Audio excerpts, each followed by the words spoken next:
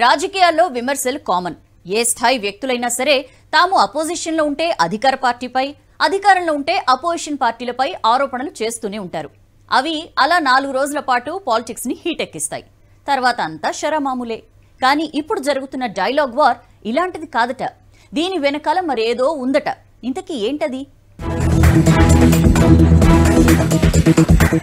State politics విషయంలో ప్రధానమంత్రి కార్యాలయం కూడా యాక్టివ్ అయినట్లు తెలుస్తోంది.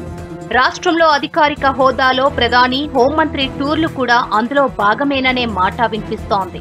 వీరంతా కేసీఆర్ పాలన టార్గెట్గా విమర్శలు చేయడం పొలిటికల్ సర్కిల్స్లో హాట్ టాపిక్ అయింది.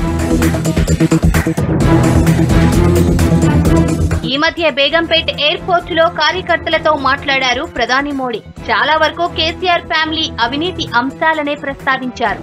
మోడీ తీవ్ర స్థాయిలో కమెంట్స్ చేయడంతో మున్ముందు ఏం జరగబోతోందోనంటున్నారు. తుక్కుగూడ సభలో అమిత్ షా కూడా అదే పని చేశారు.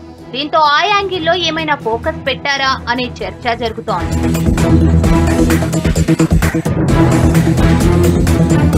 నెల క్రితం వరంగల్ వచ్చిన రాహుల్ గాంధీ కూడా కేసీఆర్ ఫ్యామిలీ అవినీతిపైనే మాట్లాడారు. పీసీసీ చీఫ్ రేవంత్ రెడ్డి కూడా గతంలో కేంద్ర హోంశాఖ మంత్రిని కలిసి కేసీఆర్ ఫ్యామిలీ అవినీతిపై ఆధారాలు ఇచ్చానన్నారు. మరోవైపు ఈడీ సిబిఐ గురించి కొద్ది రోజులుగా టీఆర్ఎస్ ముఖ్య నేతలు పదే పదే ప్రస్తావిస్తున్నారు. తాము ఎవరికీ భయపడబోమని చెప్పుకున్నారు. ఇవన్నీ చూస్తే రాష్ట్రంలో ఏదో కీలక పరిణామం జరగబోతోందనే మాట వినిపిస్తోంది.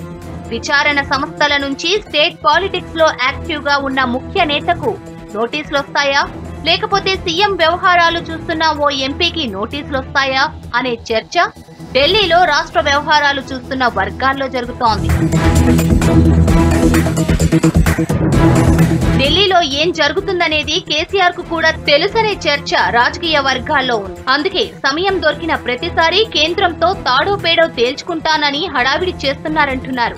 వడ్ల కొనుగోలులో కేంద్రంపై విమర్శలు బీజేపీకి ప్రత్యామ్నాయ వేదిక అంటూ రాష్ట్రాల టూర్లు కూడా అందుకేననే ప్రచారం ఉంది భవిష్యత్తులో ఏదైనా జరిగితే బీజేపీకి వ్యతిరేకంగా పనిచేశాను కాబట్టే తమను టార్గెట్ చేశారని కేసీఆర్ ఇలా ప్లాన్ చేశారనే గుసగుసలు వినిపిస్తున్నాయి.